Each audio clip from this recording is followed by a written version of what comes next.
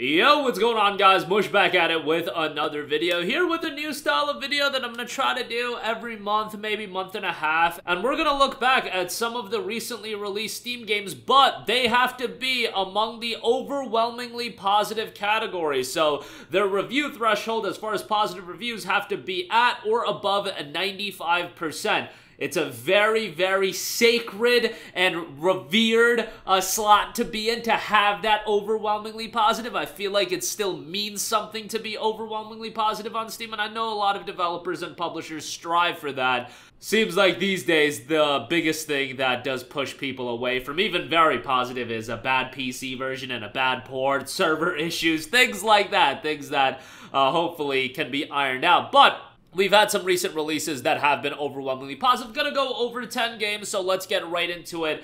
In early access right now, Ender Magnolia Bloom in the Mist is overwhelmingly positive. 2,168 reviews at 98% positive. This is set decades after the events of Ender Lilies Quietus of the Night. Homunculi, sorrowful artificial life forms roam the land in this dark fantasy Metroidvania, face formidable enemies, and explore a bewitching post-apocalyptic world. Humans and homunculi, what awaits at the end of the quest for their salvation? A little bit of a darker tone Metroidvania. The first one was really well received. The Metroidvania sector of gaming is just super hard to break out in uh, because there's so much competition and there's so many top level and elite level games. The action roguelite Metroidvania genre action RPG of this style so much competition. Ender Magnolia and Ender Lilies does have this unique, darker style to it that I do think uh, interests a lot of people. Nice to see Ender Magnolia be received as well, and we'll see how it progresses in the early access period, but it's available right now at $19.99. Next up, we're going from a $19.99 title to a free game. Cureocity is available totally free, overwhelmingly positive, 818 reviews, a 98% positive across those reviews. People think battles need powerful weapons, but strategy at hand is key. The story follows a rookie adventurer and a new healer in a dungeon quest with the core gameplay involving hand-picked methods using weapons and items, fight or purify, heal or alter, the choice is yours. Uh, interesting art style to this, a little bit of a simplistic look, but it works for the style of game that it is. Again, available totally free. Go check that out. Overwhelmingly positive on that. Next up, Duelists of the Eden. If you're a fan of Mega Man Battle Network and that style of game, or if you're a fan of One Step from Eden, Duelists of Eden is certainly something that should be on your radar. Build a deck and battle online in real-time action with a netcode. Duelist of Eden is a card, a grid a fighting game set after the events of One Step from Eden. Build your own custom deck and battle online in real-time action. There are over 14 characters with strengths and weaknesses to encourage creative spell combinations and synergies. Will you a combo slashes, fire, or even use bombs to eliminate your competition again? So reminiscent of the Mega Man Battle Network style of play. Obviously, this is much more faster paced and a little wilder, and with the competitive aspect to it, uh, adds another layer to it. 678 reviews, 96% positive on that, and just $4 $4.99 as well. So a good price point as far as that's concerned, but check that out.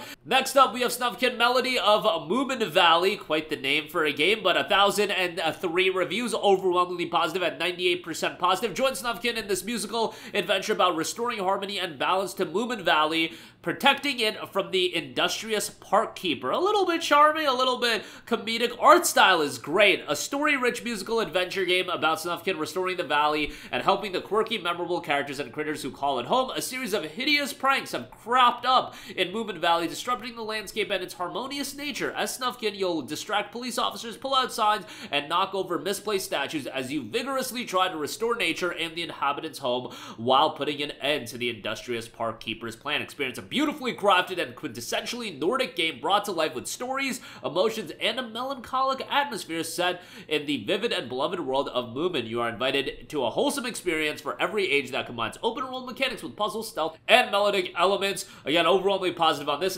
19.99 price point out and now. Next up, Dune Imperium. Yes, the award-winning board game of strategy and intrigue in the iconic universe of Dune. The spice must flow. Uh, overwhelmingly positive. 1375 reviews. 96% positive on that end. Raise your banner above the vast wasteland before you. Dune Imperium blends deck building and worker placement in a deeply thematic new strategy game where the fate of the Empire hangs on your decision. Will you seek political allies or ally? Upon military might, economic strength, or subtle intrigue, a council seat, or a sharpened blade, the cards are dealt. The choice is yours, and the Imperium waits.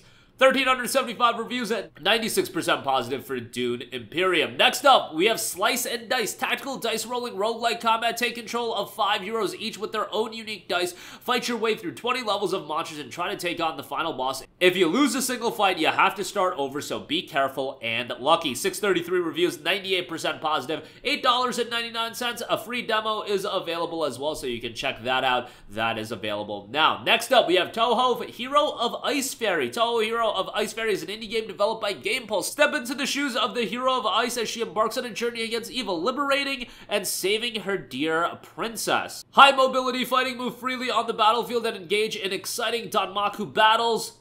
Dodge waves of beautifully designed patterns, each with stunning yet lethal bullets as well. Create your own unique builds with a plethora of curious items and spell cards. Touhou Hero of Ice Fairy has 1,800 reviews, 98% positive, 1.0 just dropped, so check that out. Next up, we have Minami Lane, 4.99 on this one. Overwhelmingly positive with 1,276 reviews, 98% positive. Welcome to Minami Lane. Build your own street in this tiny, cozy, casual management sim. Unlock and customize buildings, manage your shops, and maximize the happiness of your villagers to complete quest and fill your street with love. Super charming art style to this seems like more of a cute title. $4.99 as far as the price goes, and that is available now. Next up, we have Pesticide Not Required. 95% positive for Pesticide Not Required. Mow down countless crops and crop critters while crafting game-breaking builds. Pesticide Not Required is an action roguelike bullet heaven game with farming sim elements that offers a myriad of stats and special character traits to create wildly diverse run possibilities. Really positive reception on this, and if you like over-the-top bullet hell style games,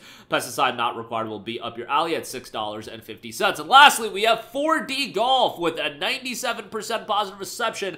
Explore higher dimensions with golf, conquer mind-bending challenges, design your own 4D courses, and unlock new worlds and accessories as you golf your way through the fourth dimension and beyond. $19.99 on this one if you want to golf in 4D. That's what you're going to get with 4D Golf available right now. So that is going to do it for me. Links and the list of all of these games will be in the description box below, so if you want to check them out for yourself, I'm sure most of you guys aren't in the business of buying fully priced games, but add them to the wish list, wait on a sale, whatever you want to do. Outside of Ender Magnolia, which is in early access, so I doubt that's going to go on sale. In fact, probably going to appreciate in price as we get deeper into the early access period, so that might be something you want to check out. But before you play Magnolia, do check out Ender Lilies Quietus of Night, and that has been on sale, and I'm sure it'll be on sale in the near future as well. Right now, uh, Ender Lilies is actually more expensive than Ender Magnolia uh, if you look at the base price of $24.99. But nonetheless, you've got a free game as well in Cureocity. Check that out. A lot of other titles. Links down below. As always, guys, thanks for watching. Let me know all your thoughts in the comment section down below, and I will catch you guys in the next one. Peace out. Hey, what's going on guys? Mush here again. Hope you enjoyed the video. As you guys might know, YouTube's notification system is sometimes a little bit wonky, even if you're subscribed to the channel. Maybe you're not abundantly aware that I uploaded a video. To remedy that situation, make sure you hit the bell notification button. This way, whenever I upload a new video, and I try to upload as consistently as possible, you will be notified directly of the upload, and you can watch it as soon as it goes live. I would really appreciate if you guys hit that button, so you can stay up to date with all of the the content I'm posting. But as always, guys, thanks for watching, and I'll catch you guys in the next one. Peace out.